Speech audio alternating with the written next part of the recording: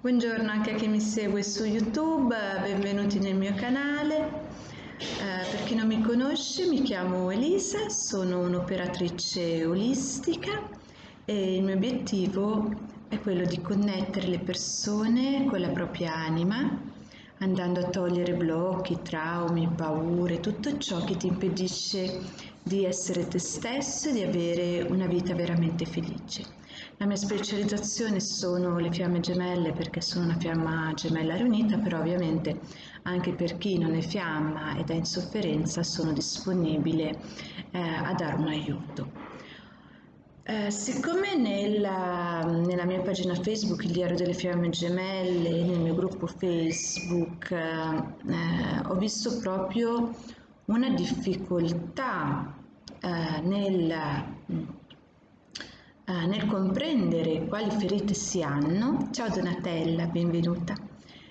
Oggi, oggi e nei giorni a venire, perché sapete che io vado un po' a periodi, no? il periodo in cui, eh, in cui parlo, eh, in cui parlo del femminile, il periodo in cui vi ho parlato dello Shambhala Reiki, vado a periodi e questo sarà il periodo quindi delle cinque ferite perché vedo proprio che c'è una difficoltà nell'andare a capire quale ferita si ha. Quindi eh, si inizierà questo percorso insieme sulle cinque ferite. Ciao Donatella, ciao. Eh, quindi volevo iniziare con voi mh, mm, con la ferita del rifiuto. Perché con la ferita del rifiuto? Perché spesso viene confusa con la ferita dell'abbandono e si pensa un po' che sia la stessa cosa, però in realtà non è assolutamente la stessa cosa. Perché? Perché abbandonare qualcuno significa allontanarsi da questa persona per qualcos'altro o per qualcun altro.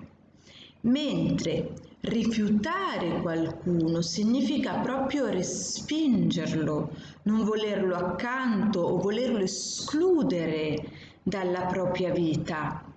Quindi la persona che rifiuta quando ti parla usa l'espressione non voglio, mentre la persona che abbandona usa il termine non posso.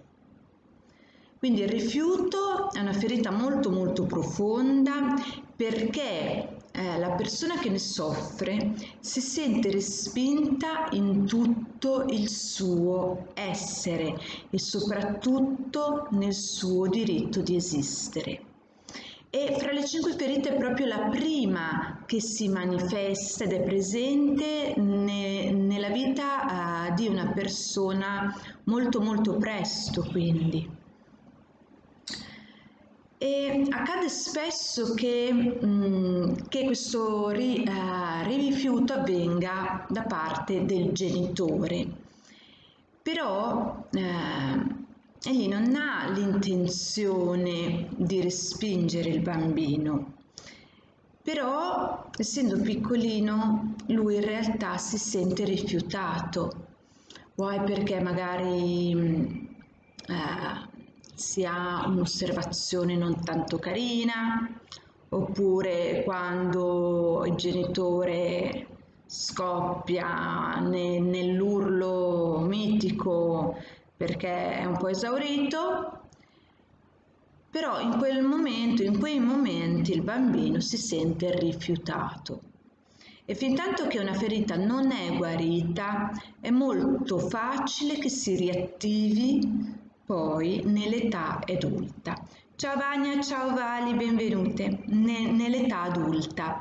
Quindi la persona che si sente rifiutata non è oggettiva, interpreta gli eventi attraverso il filtro della sua ferita e si sente respinta in realtà anche quando non lo è.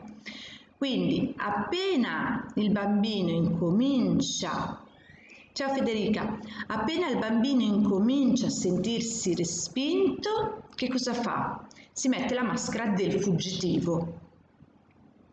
Quindi eh, il fuggitivo chi è? È una persona che dubita del proprio diritto di esistere e che non sembra essersi incarnata appieno. Quindi portare una maschera che cosa significa? Significa non essere più se stessi, quindi si adotta un atteggiamento differente, elaborato negli anni ehm, in cui si è molto piccoli e perché? Perché si pensa che questo atteggiamento ci possa proteggere. Quindi la prima reazione uh, se ti senti ri, uh, rifiutata è proprio la fuga. Perché? Perché, per, cioè perché da piccola hai proprio creato la maschera del fuggitivo e vivi eh, in un mondo tutto, cioè tutto tuo, un mondo in realtà immaginario. E da piccola evidentemente eri una bambina molto buona, un bambino molto buono, tranquillo e che non causava assolutamente problemi perché perché, perché giocavi nel tuo mondo e quindi non facevi casino, stavi in pratica nella tua bolla.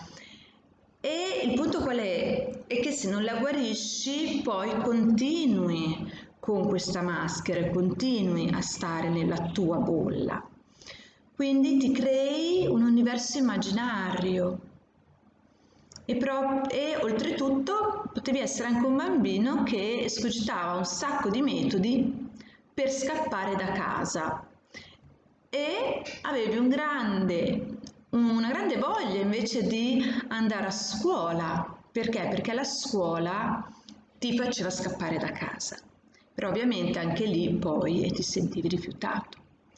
Quindi, eh, altra cosa importante, il fuggitivo mm, non si attacca alle cose materiali perché perché se tu ovviamente hai una casa, mh, mm, hai un conto in banca, hai un mutuo, non puoi scappare. Quindi non ti attacchi alle cose materiali perché? Perché altrimenti non puoi fuggire. Sei costretto a stare lì, sei costretto a stare nel, nella realtà. Oltretutto, ehm, questo distacco sulle cose materiali può avere anche un risvolto sessuale, quindi si possono avere anche disfunzioni sul piano sessuale. Perché? Perché si crede che la sessualità interferisca con la spiritualità. Molte donne fuggitive ehm, pensano infatti che il sesso non sia qualcosa di ehm, di, mm, come si può dire, eh, proprio di, mm, ma di spirituale proprio.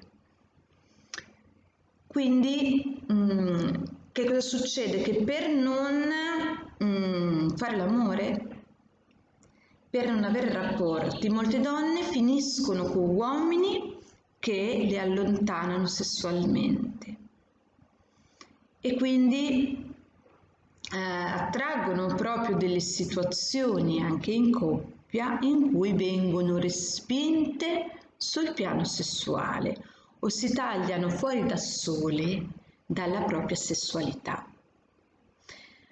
Altra cosa importante è che il fuggitivo si crede assolutamente uno zero assoluto, senza alcun valore. Per questo cercherà in tutti i modi di essere perfetto, quindi que- quelle persone che hanno uh, la mania della perfezione evidentemente hanno avuto o hanno, hanno il trauma del rifiuto. Perché? Perché devono valorizzarsi agli occhi altrui e la parola nullità è potentissima nel loro vocabolario quando si parla di sé o degli altri. E Ehm, direi che per qua ci possiamo anche fermare. Mm? Anzi no, una cosa importante, vorrei aggiungerle poi qua chiudo, altrimenti questo video è troppo lungo. Ehm, una cosa importante è che la persona che soffre del rifiuto è in continua ricerca di amore dal genitore dello stesso sesso. Quindi sia che sia eh, la, eh, la mamma o il papà biologico, sia con persone proprio dello stesso sesso. Mm? Quindi pensa di essere un individuo che non è completo fino a che non avrà conquistato l'amore della mamma o del papà, eh, in base a che sesso sei tu. ed è anche una persona molto sensibile e quindi alla minima osservazione che gli viene mossa lui si sente respinto e sviluppa rancore, spesso anche odio, tanto è forte la sua sofferenza. Quindi io direi che per oggi, ora sì, che ci fermiamo qua perché già è troppo lungo questo video, mm, quindi se hai la ferita del rifiuto, se ti sei ri, eh, riconosciuto, riconosciuta eh, in questo video, ehm, mi scrivi eh, per prendere un appuntamento, il primo è gratuito, eh, per prendere un appuntamento, per parlarne insieme, per vedere qual è la metodologia più adatta a te per la guarigione. Mi scrivi su, scusate, su info.camminospirituale.yahoo.com in questo modo possiamo fare questo cammino insieme. Bene, io vi mando un bacio grande, eh, mi raccomando condividi questo video, aiutami ehm, a renderlo virale con tanti tanti commenti e con tante tante condivisioni. Questo video, eh, per chi mi segue su Instagram, lo trovate su YouTube. Ciao Francesca, ben arrivata. Eh, lo trovate su YouTube. E niente ragazzi, questo è quanto. Per chi vuole vedere il mio blog www.caminospirituale.com. Vi mando un bacio grande, al prossimo video. Ciao!